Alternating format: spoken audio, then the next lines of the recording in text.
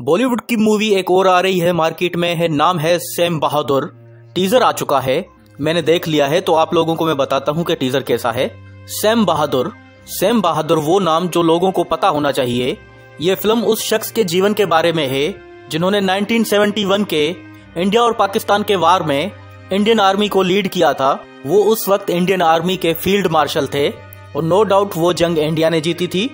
Even world war to के दौरान भी उसने अपने शरीर में नौ गोलियाँ खाई थी, जो सीन आपको इस टीजर में दिखाई दे रहा है, जो उसे कंधे पर लेकर जा रहे हैं। खून से लथपथ भरा वो वही वाला शॉट है। पूरा टीजर देखने के बाद टीजर देखने के बाद बिल्कुल गूस बम्स आ गए थे।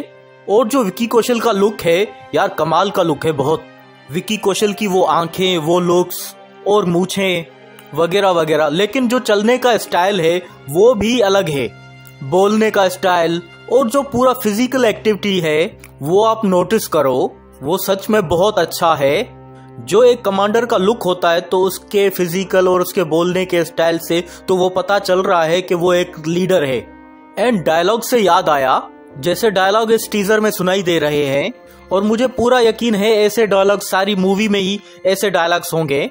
तो थिएटर में तालियाँ तो बजानी ही पड़ेंगी अगर आपने विकी कौशल की वो उड़ी मूवी देखी हो तो उड़ी दी सर्जिकल स्ट्राइक तो आपको ये लगेगा कहीं ना कहीं उड़ी रिलीज़ होने के बाद बॉक्स ऑफ़िस में जैसा माहौल था रिपीट ज़रूर होगा।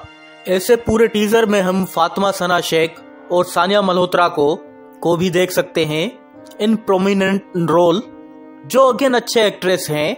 इस मूवी की जो डायरेक्टर हैं मेघना गुलजार, जिन्होंने लास्ट मूवी बनाई थी एक एसिड अटैक उस मूवी का नाम था छपाक।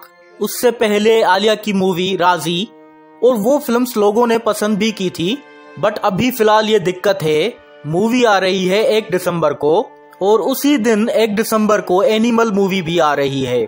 तो पर्सनली मैं तो दोनों मूवीज़ के लिए एक्साइटेड हूँ तो साला ये मुझे क्लेश पर्सनली पसंद नहीं आया। तो एनीवेज आप लोग मुझे बताओ कि आप पहले कौन सी मूवी देखोगे, सैम बहादुर या एनिमल? तो कमेंट में ज़रूर बताना लाइक करना सब्सक्राइब करना। तो मिलते हैं अगली वीडियो में।